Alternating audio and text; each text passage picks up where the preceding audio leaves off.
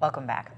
The Big Brothers Big Sisters mentoring organization supports thousands of matches between adult volunteers and at-risk children across the state. But one mentor from the Fox Valley stands out from the rest. Stacy Engebretson shows us why he's getting special recognition. It's tonight's NBC 26 Cares. Jake Bergstrom of Neenah has been named Big Brother of the Year for the state of Wisconsin. He's spent the past 10 years serving as a positive role model for his little, who isn't so little anymore.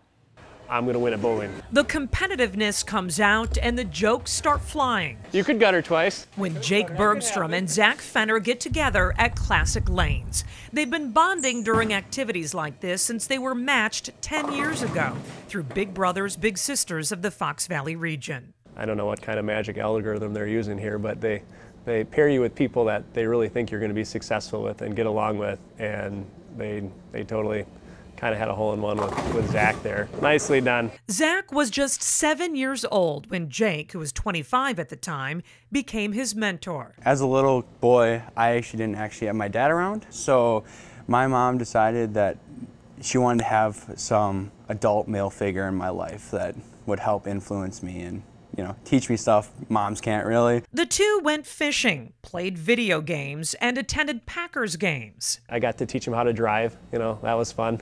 Jake also helped Zach navigate the tough times. I don't know how you could throw it any better though. Sometimes, you know, you don't agree with your mom or whatnot, and so I'm a little upset with her at times, and then I'd always go hang out with Jake and I'd talk to Jake about it, and he's like, well, she's your mom. She loves you. She cares about you. From Zach's first job to his first girlfriend, Jake has supported his little through it all. We've got to grow up together. The past 10 years have been some of the greatest years of my life because of him. Zach wrote an essay about his Big's impact on his life, which helped Jake win the title of Big Brother of the Year, not only for the Fox Valley, got one, but for the entire state. It was awesome just to have someone from our agency win that.